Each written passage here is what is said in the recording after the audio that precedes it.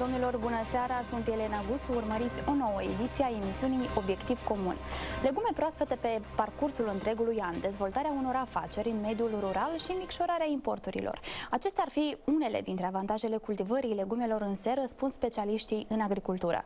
În Republica Moldova, producerea legumelor în spații protejate constituie puțin peste 4% din totalul produselor autohtone. Despre cultivarea legumelor în spații protejate, tendințele acestui tip de agricultură și perspectivele de dezvoltare discutăm astăzi la Obiectiv Comun. Pentru început, vă invit să urmărim un reportaj. Piața legumelor din Republica Moldova este supusă fluctuațiilor atât în ceea ce privește prețurile, cât și cantitățile produse și vândute. Perioada de vârf este vara, în special lunile iulie-august. În ultimul timp crește numărul agricultorilor care cultivă legume în spații protejate, iar volumul de producere în câmp deschis este în scădere. Tendința este apreciată de consumatori care se bucură de legume proaspete întreg anul. Legumicultorii spun că acest tip de agricultură are diverse avantaje. Cea mai ecologică este anume din terenul protejat protejat.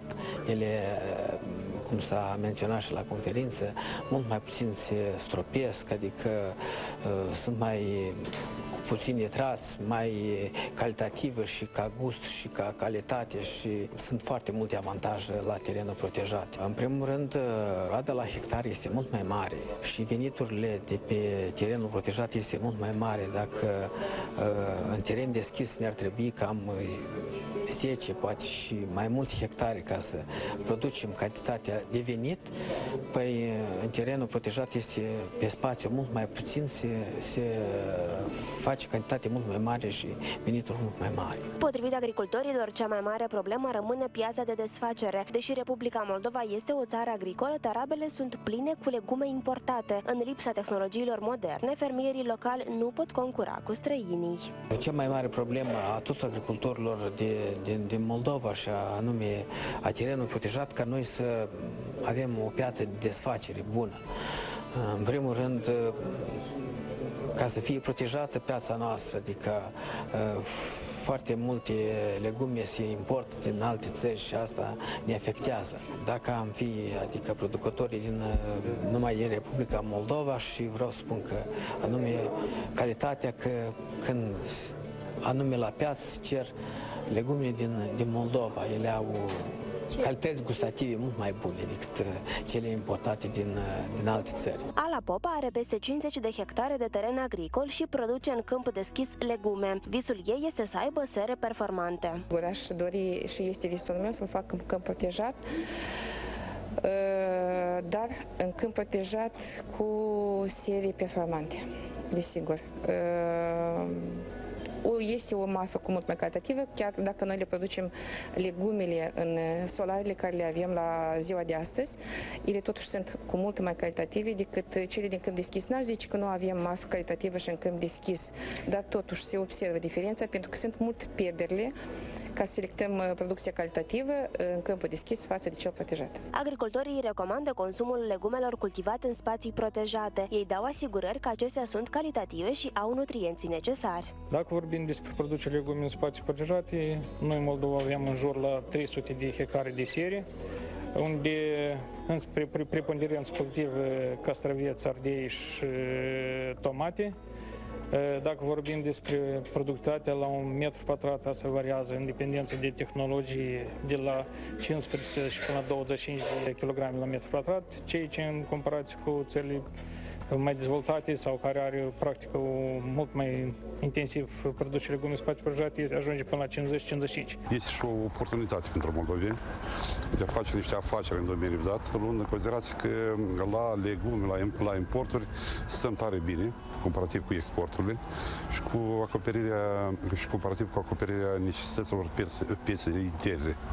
Deci aici, practic, avem uh, o balanță um, foarte clară negativă și lucrurile trebuie să fie returnate și trebuie să fie schimbate.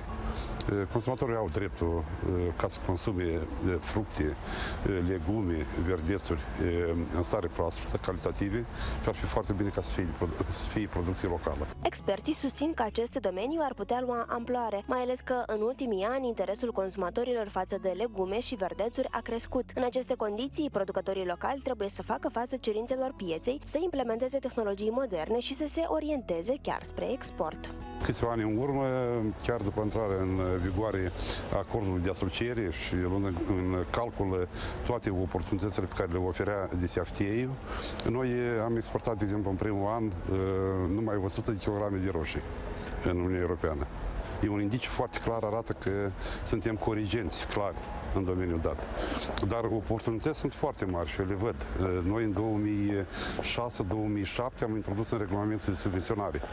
Subvenționarea producătorilor care doresc să cultive culturi în spațiu protejat, în, în serii, în tuneluri, în solarii și lucrul ăsta a dat roade. În prezent, în Republica Moldova, 4% din totalul legumelor autohtone sunt produse în spații protejate. Este vorba despre o suprafață de circa 300 de hectare. Azi deja avem în fiecare localitate mai multe serii și care e, produc pentru consum e, propriu, dar și pentru piață. Producerea legumelor în spații protejate poate fi realizată într-un singur ciclu sau în două. În funcție de legumele cultivate, experții oferă recomandări producătorilor autohtoni. Dacă vorbim despre producerea legumelor într-un ciclu, atunci poate nu este necesar să investească așa mult în sistemul de încălzire, care într-o seră performantă, numai încălzirea costă 1 milion, 1 milion 200 de mii de lei, asta este destul de mare investiție.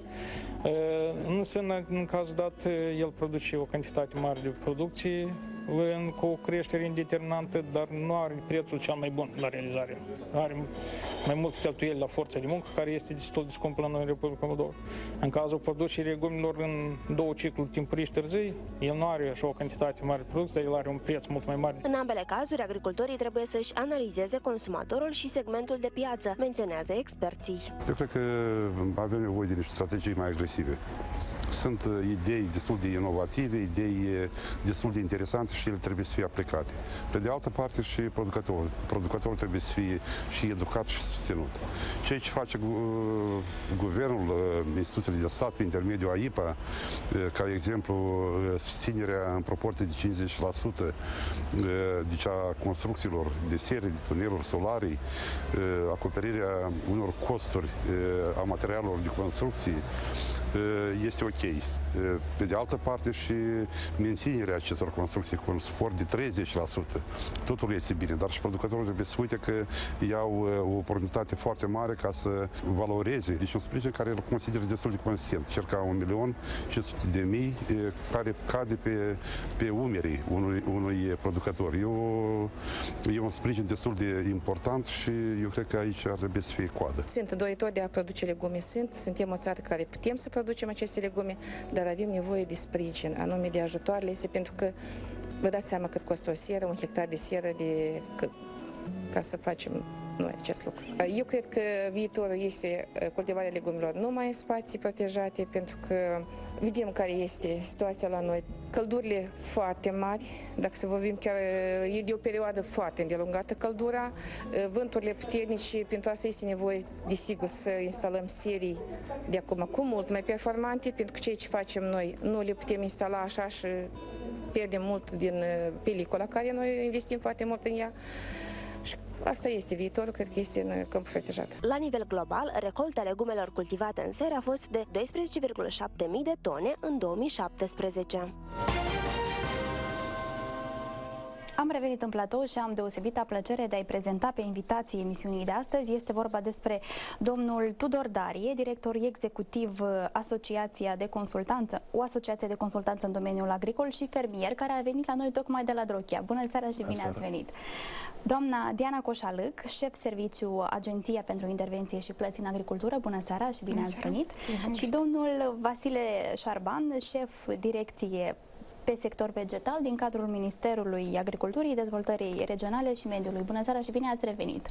Bine v-am regăsit! Stimați telespectatori, vă invităm și pe dumneavoastră să participați la discuția noastră. Ne urmăriți pe pagina de Facebook TVR Moldova, acolo unde ne puteți adresa o întrebare și noi împreună cu invitații emisiunii vom încerca să vă oferim un răspuns. Așadar, stimați invitați, am urmărit și un reportaj la acest subiect. Aș dori să începem discuția cu aceste 4%. Este mult, este puțin. Dacă discutăm discutăm despre ponderea acestui gen de agricultură pentru Republica Moldova. Domnul Șarban. 4% ce aveți în vedere? Deci, din totalul din totalul legumelor? de legume produs. Spre marea noastră fericire, deci tehnologiile de creștere a legumelor în câmp protejat este în tendință de creștere.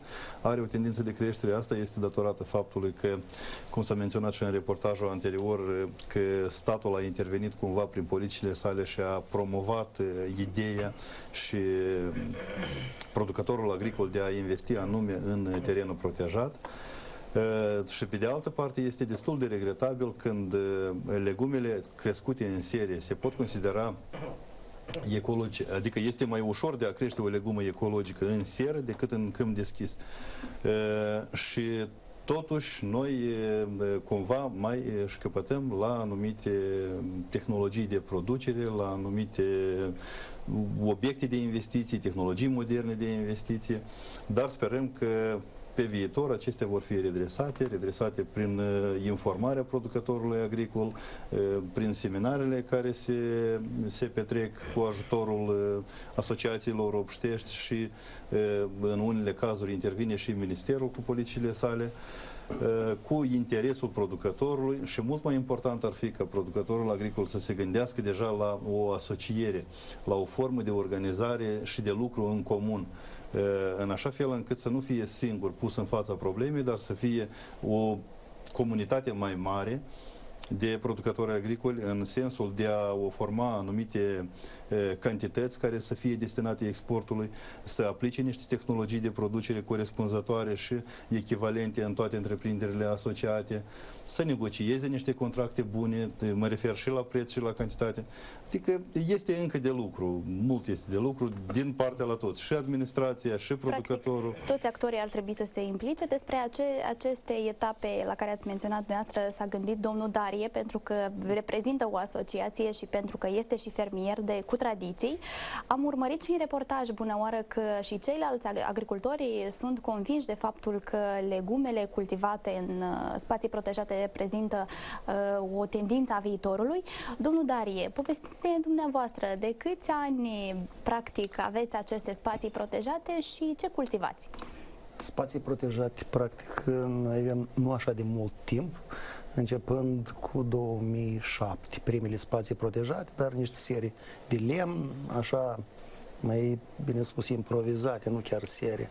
Începând cu 2012, după ce deja studenții gata au terminat, au finisat studiile, am început și noi să investim în câmp protejat. Dacă să mă refer la întrebarea noastră anterioară, domnul viceministru, așa direcție, și ține de 4%, 300 de hectare pentru Moldova, comparativ cu, 4, cu 2, peste 2000 de hectare matca în România, este o, nu știu, cum aș găsăm echilibrul ăsta, unii ne găsim noi. Și țin de spațiu protejat, da, într-adevăr, spațiu protejat, numai unul incompetent. Poate să nu aibă rezultate în câmp protejat. Viitorul, într-adevăr, aparține spațiul protejat. Noi și am niște argumente. De ce? Practic, noi în fiecare an avem uh, vânturi puternice, avem ploi torențiale, avem uh, ploi acide care ne afectează, vrem noi sau nu vrem. Și noi, practic, cam puține uh, metode sau uh, pârghii avem de a ne opune acestor calamități. Spațiul protejat este una din soluționarea problemelor date. Asta e una la mână și a doua la care noi, eu și soția, că eu, repet, eu sunt soț de fermier, se ocup cu agricultură. Practic este o afacere de familie? Da, e o afacere, dar soția practică, mai, uh, în general așa, în detailat. Dar uh, să producem produse organice ar fi un păcat mare, având solurile, uh, clima noastră, ca să nu producem organic. Personal, întreprinderi, gospodăria cu numele soției Mariei Dare, suntem în circuitul organic 2012, din 2015, deja suntem certificați și producem organic. Și aici ține de reportajul anterior că, cu export, legat de export. Noi avem un pic poate alt credo față de ceilalți și noi respectăm fiecare părere, dar noi ne ținem de a noastră. Noi considerăm că cele mai bune produse trebuie să ne merească pe masa copiilor, acelor tineri, uh, părinților noștri. Noi așa credem noi. Și uh, nu știu, pentru ca să ieșim la export uh, ne trebuie volume și perioade de export garantate. Noi cultivăm practic tot ce se numește legumă, dar în, în varietăți mai mari, varietăți mai mari, dar în cantități mai mici. Lucrăm practic numai la comandă și aici ține de contractele de livrare pentru școli, grădiniță, case de bătrâni și un pic pentru piața locală. Aveți frumoase ambiții, ambiția inițial de a ajunge pe masa consumatorului din Republica Moldova și din proximitate. Domnul Darie, vreau să vă întreb dacă în acest parcurs ați beneficiat de anumite programe de subvenționare și care au fost rolul și impactul acestora în dezvoltarea afacerii. Da, am beneficiat și am beneficiat uh, de sume așa în diferiți ani diferit. Uh, părerea mea și ambiția soției este că noi cu sau fără suportul statului, ce avem de făcut, o să facem. Suportul statului numai ne ajută ca timpul de a atinge un obiectiv l-am scurtat. Cel, cel mai important. Cei ce vor să fac să mizeze numai pe suportul statului sau pe este o poziție greșită. Omul trebuie să fie ferm convins, să aibă o, o strategie, un obiectiv exact ce vrea să facă, unde vrea să ajungă, dar banii sunt ca și ciorapii, ca și ochelare, un instrument pentru a ajunge, atinge un scop. Vrem noi sau nu vrem. Da, într-adevăr, este păcat, uh, profitând de întâlnirea dată, cei tineri, o bună parte, încep să facă o afacere, pe urmă să consult când se ciocnesc cu o problemă sau cu alta. Din punctul meu de vedere, avem câțiva tineri acum care îi respect din tot sufletul, al de Andrei, Leonte, Alexandru Dascal, niște tineri cu ambiții, care știu ce vor și înainte de a face, să consultă. Au venit, ei beneficiază de suportul statului, sunt pro, programe în deoseb pentru tineri foarte multe. Așa că ar fi un păcat ca cei tineri să nu beneficieze de oportunitățile date. Dar iarăși mă întorc. Toți trebuie să se informeze, toți trebuie să învețe, noi suntem ca și doctori, trebuie să învățăm tot viața. Pe întreg parcursul Pe vieții întreg parcursul și să vă perfecționați. Dată ce ați adus atât de frumos în discuție tânăra generație de agricultori, doamna Coșalâc, care sunt acele programe pe care le predispuneți atât tinerilor agricultori, dar și agricultorilor cu o anumită tradiție, care ar putea și ar dori să beneficieze de anumite subvenții? Deci AIPA prezintă producătorilor agricoli două modalități de susținere. Una este subvenționarea clasică, cea care post-investițională, și alta este subvenționarea în avans. Subvenționarea clasică, noi avem măsura care anume susțin producătorii în domeniul investițiilor în creșterea legumelor și fructelor pe teren protejat, pentru construcția de serie solare, tuneluri noi, statul acoperă 50% din cheltuielile care le are producătorul agricol. În cazul reconstrucției, modernizării acestora, până la 30%. Uh, exact așa avem o altă uh, modalitate de plată pentru producători agricoli, care și-a menționat-o uh, colegul nostru, cei ce țineți subvențiile în avans, care solicitanți sunt acestui program tineri și femeile fermieri care se lansează pentru prima dată într-o afacere care pot să obțină ca subvenție până la 650.000 de lei sau 65% din uh, investițiile care le efectuează. Odată ce ați menționat despre aceste subvenții, de foarte multe ori anume acești bani se duc într-o afacere pentru a investi în tehnologii. Care este rolul acestor tehnologii, dar și întreținerea acestora pe parcurs pentru ca ulterior să ai un produs calitativ pe piață? Vedeți cum domnul Dari din start a menționat, a spus un lucru foarte important, că în primul rând, la inițierea unei afaceri trebuie de privit ca spre o afacere, nu pur și simplu spre un hobby sau spre o sursă de a atrage niște, niște bani de la stat, prin subvenții sau prin anumite granturi. O afacere bine planificată întotdeauna va aduce niște rezultate corespunzătoare.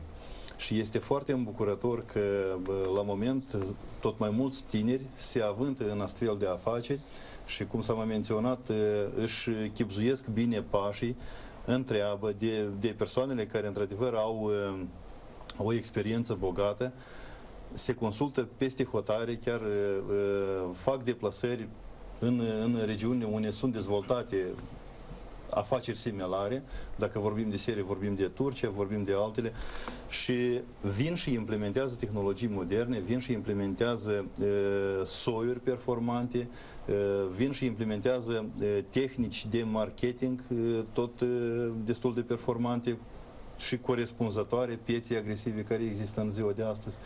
Uh, este un lucru foarte bun, ceea ce se face la moment.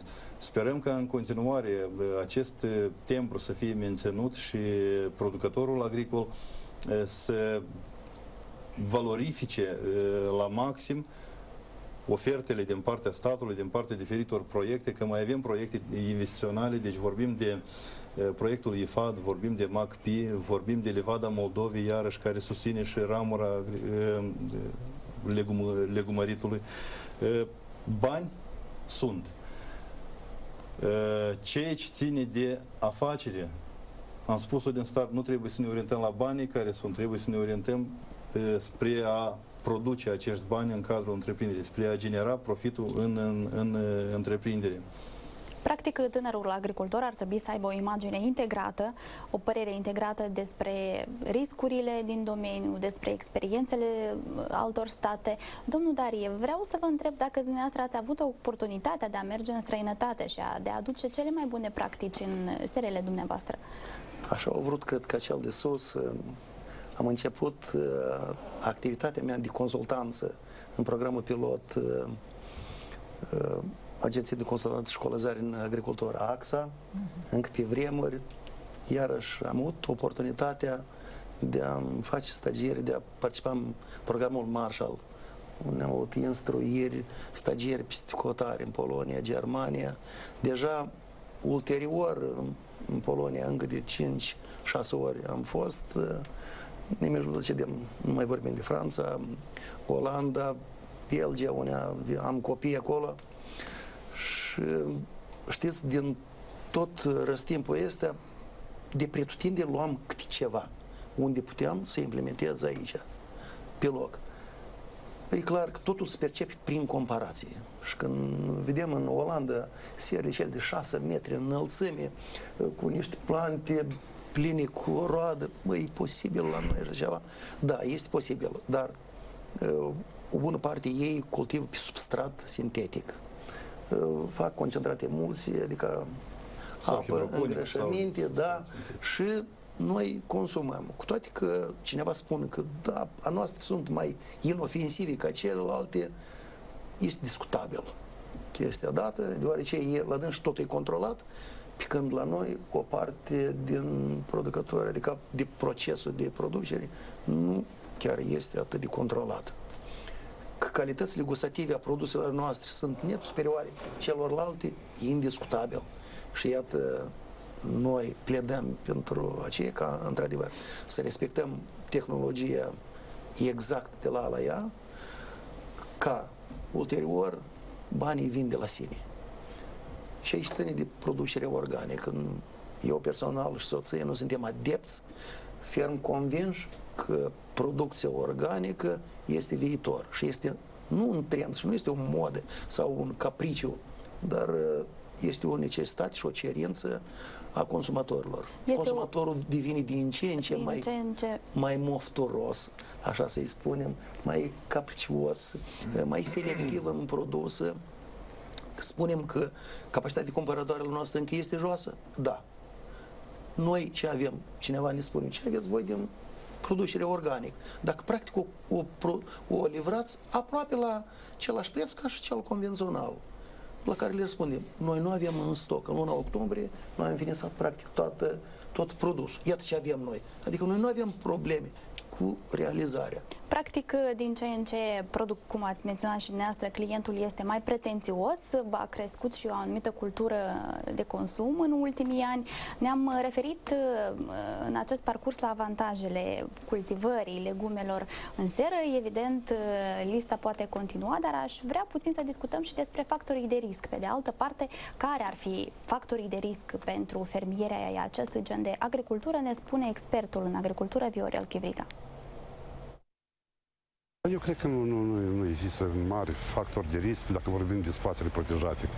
Deja esența uh, termenilor care sunt uh, în uz, care sunt utilizați, uh, arată că ei sunt, pe, pe de o parte, protejați de condițiile nefavorabile ale naturii. Da, există unii, unele riscuri ce sunt de condițiile meteo, se întâmplă, dar și aici trebuie să ținem cont că există asigurare în agricultură.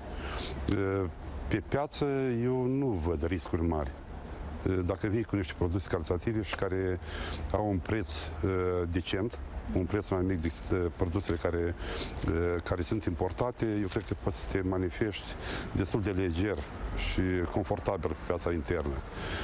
Și în ultimul rând, eu vorbeam de cultura consumului.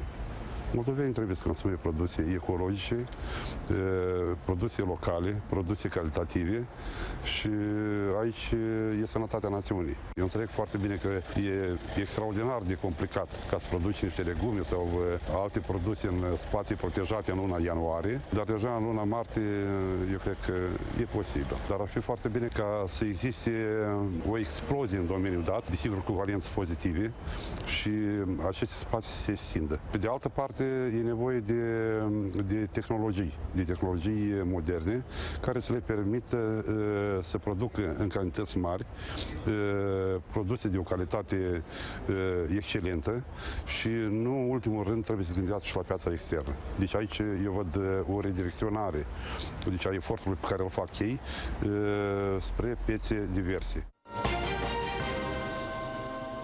Pentru că domnul Ghivrig a menționat despre această asigurare în agricultură, doamna Coșalut, vă rugăm să ne uh, explicați cum practic pe etape are loc acest proces. Procesul de asigurare de fapt este simplu. Producătorul agricol identifică compania cu care vrea să încheie un contract de asigurare asupra fetei care urmează a fi supusă asigurării și alege riscul pe care se asigură, completează acel contract între uh, companie și producător, Uh, ulterior, uh, după ce are acest contract uh, pe parcursul anului compania de asigurări vine și depune și dosarul la subvenționare ca în cazul în care sunt calamități, producătorul agricol să beneficieze de o cotă care o acoperă statul pentru calamitatea care are loc. Cu părere de rău, producătorul agricol nu prea se asigură. Totuși, cum a menționat și domnul Chivriga, acest risc al asigurărilor producătorul agricol și-l pune pe spatele său singur. Uh, pentru subvenționarea în avans uh, am hotărât cu Ministerul Agriculturii ca uh, asigurarea obiectului investițional să fie obligatoriu. Prin acesta poate o să cultivăm sau o dezvoltăm acel cult al producătorilor agricoli de a-și asigura investițiile sale. Practic, în foarte multe interviuri realizate cu agricultorii, ei încă ezită pentru că cred că nu vor avea unde să-și vândă producția. În acest sens vreau să vă întreb cât de benefice și cât de așteptate sunt acele contracte prealabile, poate acele contracte cu anumite rețele de supermarketuri o să mă refer întâi la e, asigurarea subvenționată în agricultură. Deci este vorba de cele 50% din prima de asigurare care o achită producătorul agricol, care o întoarce statul înapoi. Spre regret, cum a menționat și doamna Deana, deci noi avem o tendință de descreștere la capitolul asigurări. Dacă în 2016 aveam în jur de 2% din suprafețe asigurate, acum în 2018 am avut în jur de 1,8%. Este foarte rău, trebuie să cultivăm această cultură de asigurare. Ceea ce ține de supermarket, într-adevăr, ar fi un o scăpare a unor producători agricoli care produc calitate, care produc o gamă largă de, de legume, dacă vorbim de serie, care au și pot menține o periodicitate a livrării produsului pe teșghelele acestor supermarkete, ar fi binevenite, ar fi binevenite aceste contracte încheiate din timp, negociate, dar să nu uităm de faptul că trebuie de menținut și nu de periodicitate, dar trebuie să ne ținem de acele responsabilități care ne le asumăm odată cu semnarea contractului. Se vorbea mai înainte despre export. Eu nu cred că în, în următorii ani noi vom merge la export, dar dorința noastră mare este de a substitui importul, deoarece noi anual importăm în jur de 60.000 tone de legume, dintre care 60% sunt cartofi. Este clar că în jur de 80% din cartoful importat este cartof destinat uh, însămânțării, dar oricum, noi toate posibilitățile acestea le avem la noi acasă. Noi putem să producem. Noi, uh, pe timpuri, dacă să mă refer și la istorie, eram una dintre țările importante care produceau semințe de legume. Eram una, una dintre țările cele mai importante. Uh, spre regret, acum Ehm, procesul ăsta sau instituția care se ocupa de, de selecție și de producerea semințelor de legume se află în partea stângă a Nistrului, ea activează în continuare, produce calitate, însă, mă rog, ca și promovare, la acest capitol stau mai, mai slăbuți. Am menționat că cumva, chiar și dumneavoastră, domnul Dari, ați menționat că nu aveți o problemă în ceea ce privește să vă expuneți marfa uh, în fața consumatorului. Vreau să vă întreb cât de utile sunt pentru dumneavoastră aceste parteneriate pe care le aveți cu agenții economici, poate din regiuni, pentru că toți împreună creați acest lanț alimentar uh, uh, per ansamblu.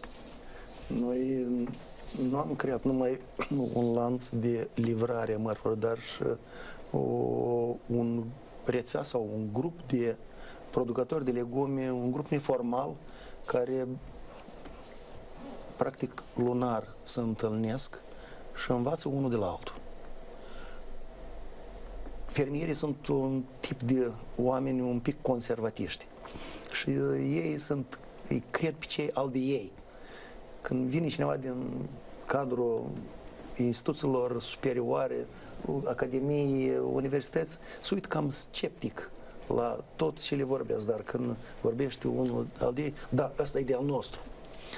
Asta e pe de o parte, pe de altă parte, în cadrul gospodăriei care o conduce soția, iarăși este un grup neformal.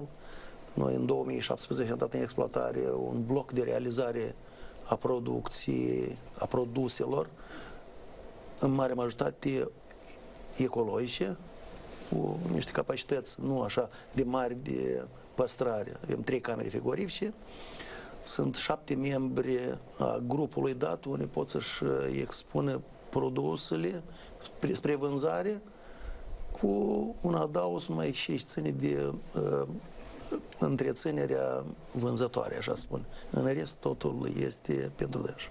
Asta este o încercare cât nu o să ne reușească, încercăm ca spunem că noi nu suntem posibil să facem și aceeași căpșun, și aluni, și tot spectrul de produs și produse uscate, congelate, care le care dorești putea... consumator. Dar venind în, în gospodărie se poate să-și procure tot, tot ce are necesar. De aici așa a făcut asta cooperarea asta neformală. Noi nu suntem înregistrați ca cooperativă, dar uh, se conlucrează foarte bine între ei și uh, ei și noaptea pot sune și uh, ziua orice timp. Pentru că ați menționat despre aceste cooperări formale sau neformale dintre fermieri și agricultori, vrem să învățăm și să aflăm care este experiența României în acest sens. În România, agricultura în spațiu protejat este susținută prin programe de subvenționare. Unul dintre acestea este programul Tomate, care a demarat în 2017, dar despre alte programe aflăm prin telefon de la directorul Agenției de Plăți și Intervenții în Agricultură din România, domnul Adrian Pintea. Bună seara! Uh, bună seara dumneavoastră și telespectatorilor dumneavoastră. Domnul Pintea, vă rugăm să ne spuneți care este ponderea legumiculturii în spații protejate în România. Uh, da. Uh, ce pot să vă spun legat de suprafața înregistrată în baza de date a Agenției de Plăți și Intervenție pentru Agricultură din România, în cadrul campaniei 2018, este că avem un număr de 1160 de hectare, cu legume cultivate în uh, spații protejate, adică în sere și solari. și am văzut că spuneați că ce programe de subvenționare pentru legume în sere și solare există în România. Pot să vă spun că beneficiarii acestor forme de sprijin pot fi atât persoane fizice cât și persoane juridice care au în exploatație un teren agricol cu o suprafață de cel puțin un hectar și suprafața parcelei agricole să fie de cel puțin 0,3 hectare. Totodată, mai pot beneficia numai de un sprijin cuplat, însă din fonduri europene, cei care au o exploatație agricolă formată din sere și solarii, de minim 0,3 hectare, iar suprafața minimă a parcelei poate fi și de 0,03 hectare, adică de 300 de metri pătrați. Ca și sume, ca să vedeți cât acordăm noi pe hectar, pentru campania 2018, cuantumurile aferente schemelor cuprinse în plata pe suprafață, avem și toate aceste cumulate, bineînțeles. 102 euro pe hectar avem ca schemă de plată unică pe suprafață, încă 5 euro avem, există o plată redistributivă, adică cei care au între 1 și 5 hectare, și între 5 și până la 30 de hectare. Cine are între 1 și 5 hectare mai primește în plus 5 euro pe hectar, iar cine are între 5 și 30 încă 50,36 de euro pe hectar. Avem la care se adaugă încă 58 de euro pentru plata pentru înverzire și 25,8 euro pentru tinerii fermieri. Tot bineînțeles, toate plățile se fac uh, în lei la uh, cursul care se stabilit de către Banca Centrală Europeană. Ca să vă mai dau uh, câteva amănunte refer referitoare la sprijinul cuplat pentru legume cultivate în spații protejate, sere și solari, uh, pot să vă spun că în acest moment au fost aprobate plafoanele, urmând ca după perioada de punere a tuturor documentelor justificative, acestea să uh, fie și date la plată ca și condiții pe care un fermier român uh, trebuie să le îndeplinească pentru a putea beneficia, este să fie, uh, acestea sunt, să fie înregistrați în Registrul Unic de Identificare, un registru care îl are APIA, să depună în termen la centrele județene, respectiv centrele locale ale APIA, o singură cerere unică de plată, să fie fermier activ sau să dovedească acest lucru, să declare, să identifice și să delimiteze corect toate suprafețele și culturile pe care le are uh, și să îndeplinească toate condițiile de eligibilitate care sunt specifice fiecare scheme uh, de plată solicitate. Și pe lângă aceste uh, lucruri trebuie să respecte și normele de ecocondiționalitate, și categoric el trebuie să permită efectuarea controlelor de către APIA sau de către alte sau organe, de către alte organe competente. În caz, contrar, în caz contrar, aceștia pot fi uh, excluși de la plată.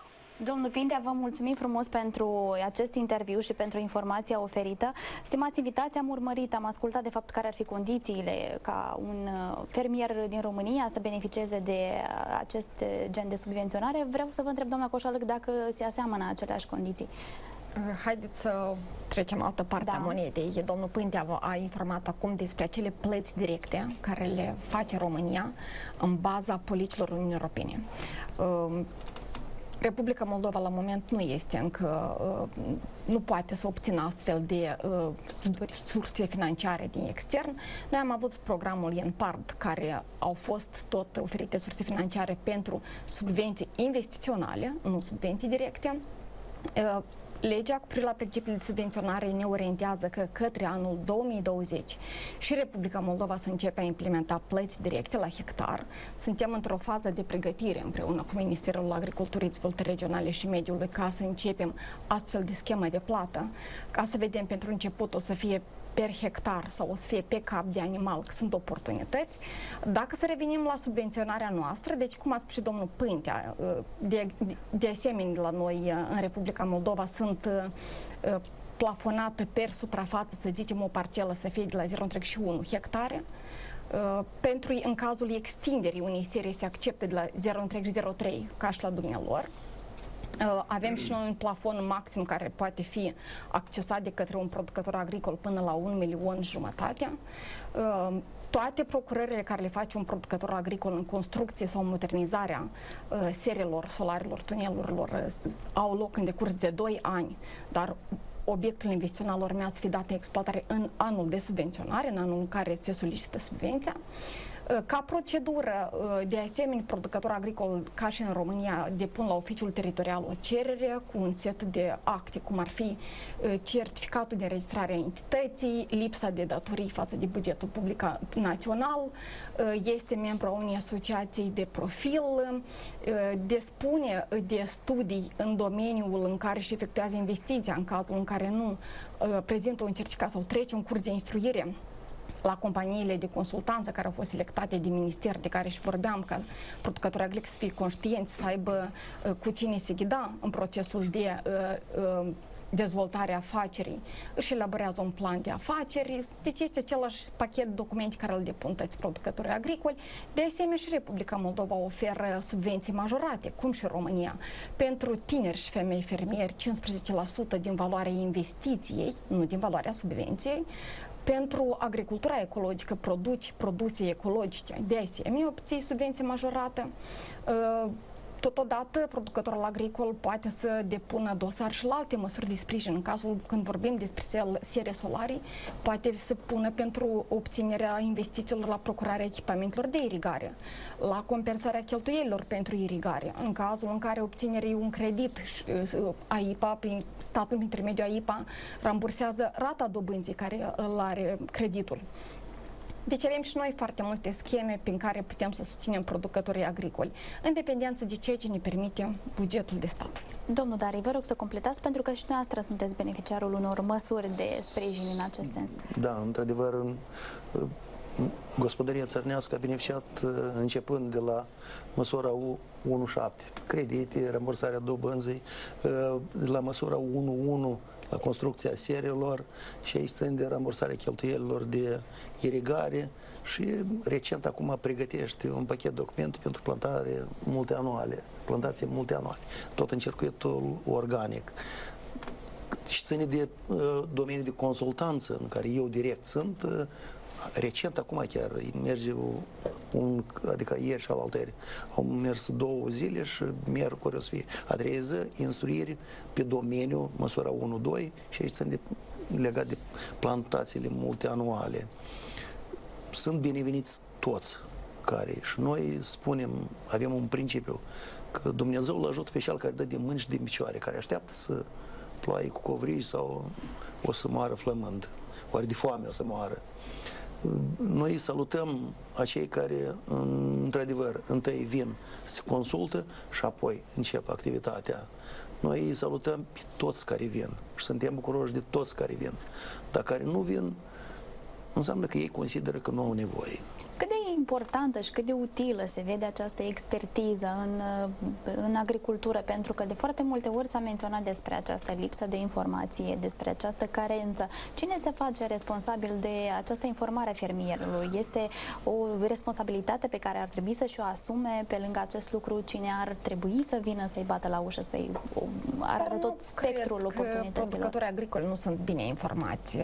AIPA la fiecare început de recepție perioadă de recepționare a dosarelor, uh, efectuează în teritoriul uh, campanii de informare a producătorilor agricoli și în anul curent, în luna februarie, noi am organizat în 10 zone ale Republicii Moldova, acolo unde avem oficiu teritorial uh, campanii de informare, unde au participat peste 1600 de producători agricoli, beneficiari și potențiali beneficiari de subvenții, cu atât mai mult atât pe site-ul Ministerului, cât și pe site-ul AIPA, atât a companiilor de consultare importanță. Sunt diverse tipuri de informații prin care producătorii agricoli sunt informați despre evenimente, despre actele care urmează a fi prezentate sau care cum se completează.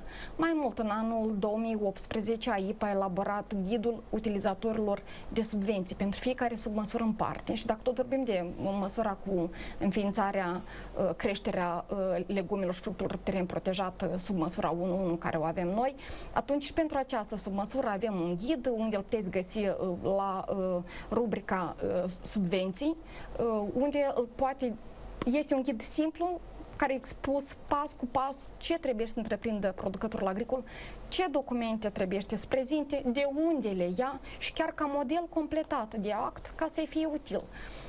Nu știu, cred că mie îmi pare că producătorii agricoli sunt destul de informați și tind a se informa și perfecționa. Domnul Șarban, dacă discutăm despre experiențele altor state de la care ar putea implicit să învețe și Republica Moldova, care ar fi acele practici agricole ce ar, ar putea fi preluate și de către fermierii noștri?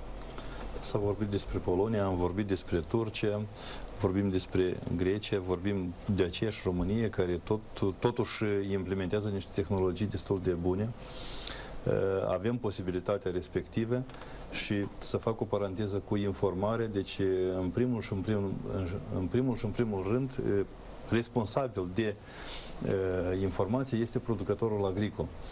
Deci în cazul când dorești să implementezi ceva, nu așteptăm nimic, mergem înainte, ne interesăm, consultăm.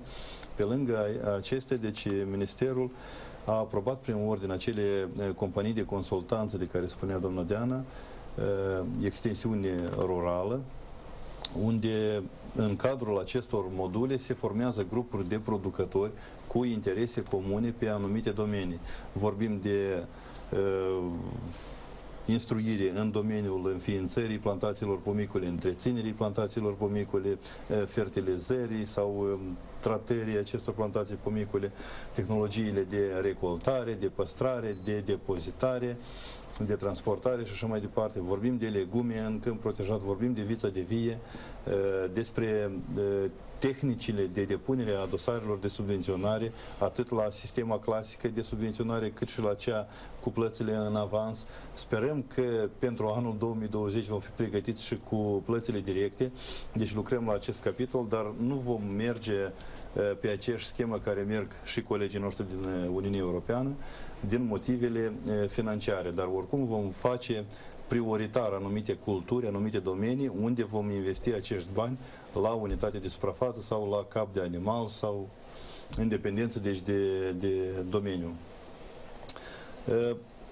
Informație este peste tot. Mai mult ca atât că în Republica Moldova foarte bine activează unele din asociațiile de profil. Prin intermediul acestor asociații, deci se colectează necesitățile de instruire de la producătorii membri, se identifică persoana sau se identifică expertul care ar putea să facă față lucrurilor, se organizează aceste seminare, mai mult ca atât că prin regulamentul de subvenționare este întors uh, o parte din, uh, din costurile uh, producătorului agricol, costurile de participare la seminare, este posibilitate uh, foarte multă. Trebuie să fie, totodată trebuie să fie atenți uh, producătorii agricoli, deoarece uh, în secolul 21 avem acces la multă, multă informație, dar nu toată este veridică. Trebuie să știm să filtrăm această informație, dar o putem filtra doar prin consultarea cu mediul de știință cu mediul de știință, în cadrul acestor grupuri comune, analizând ghidurile pe care le predispune inclusiv uh, AIPA. Stimați invitații, pentru că suntem la finalul acestei emisiuni. În concluzie, v-aș ruga să ne spuneți un gând. Uh, un gând adresat celorlalți agricultori de ce ar trebui să se orienteze către acest gen de agricultură. Mă refer la legumicultura în spații protejate. Două argumente. În primul rând, este o tehnologie cu valoare adăugată în al doilea rând, este posibilitatea de a produce produse organice, ecologice și în al treilea rând, desigur că putem să majorăm profiturile în întreprindere. Mulțumim, doamna Coșelic. Și sigur că eu am să zic că IPA le oferă la celor producători agricoli un sprijin financiar consistent prin subvenționarea clasică și pe cea în avans pentru a-și dezvolta propria afacere acasă. Mulțumim frumos! Cred că nu în ultimul rând minimalizăm la maxim riscurile care ne pasc în câmp deschis. În câmp protejat trebuie numai să studiem și uh, este o fabrică de a produce bani. Mulțumim frumos pentru aceste gânduri, într-adevăr așa este. Doamnelor, domnilor, vă mulțumesc pentru astăzi. Vă dau întâlnire mâine la aceeași oră când vom discuta despre programele de protecție socială destinate persoanelor de vârsta a treia. La revedere!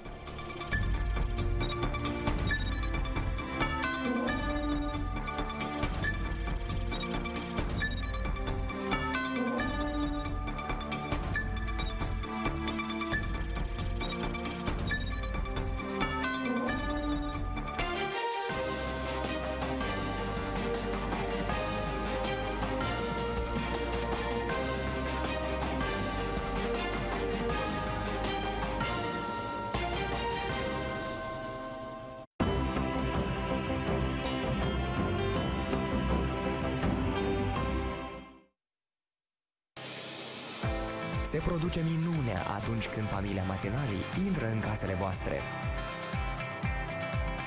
Și muzica românească alină dorul de cei dragi. Când discutăm teme de interes pentru românii de pretutindeni. Și pregătim rețete tradiționale sau reinterpretăm gastronomia internațională. Iubim să dăruim dragoste și să trăim emoții. Cu matinalii, toți românii se simt acasă.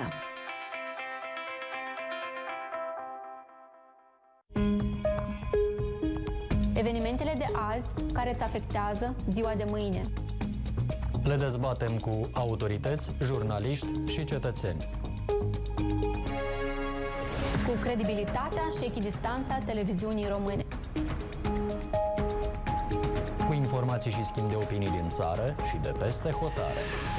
Noi punem punctul pe azi la TVR Moldova. Să fiu oare adevărat? Prinși între două lumi. Sunt eu și sunt aici? Una în ruină, cealaltă în expansiune. Privada dumneavoastră cu vișini e renumită pentru întinderea ei.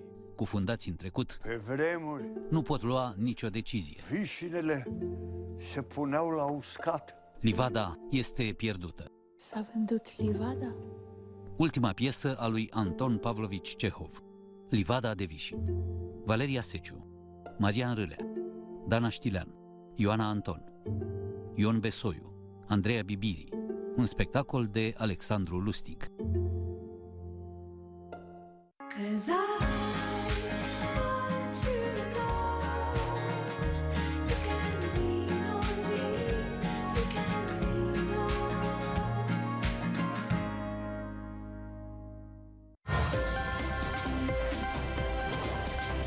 Liderii decid, iar lumea se schimbă.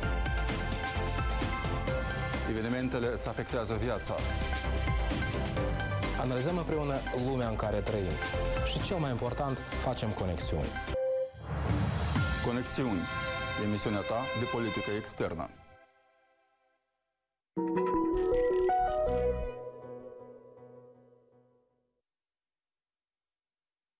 Anunțați imediat medicul veterinar sau autoritățile despre depistarea porcilor mistreți bolnavi sau morți. Partidele de vânătoare se vor desfășura numai după informarea și aprobarea autorităților. Carnea porcilor mistreți vânați nu va fi înstrăinată sau dată în consum fără a avea rezultatele testelor de laborator. Resturile provenite de la animalele vânate vor fi colectate în saci de plastic și predate responsabilului fondului de vânătoare. Înainte de a intra în adăpostul porcilor din gospodărie, schimbați-vă hainele sau încălțămintea purtată la vânătoare sau în pădure.